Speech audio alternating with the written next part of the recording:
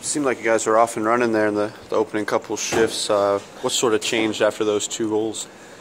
Well, just obviously just got away from our game.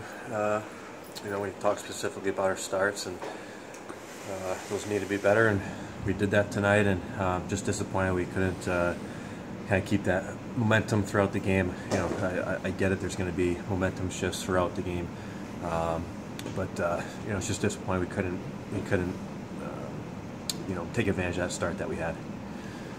Uh, just how frustrating is that? I know you talk about, I think, only five games this year you guys have scored the first goal. You, you sort of want to take advantage of that when you, you get those early leads. Yeah, I mean, no doubt.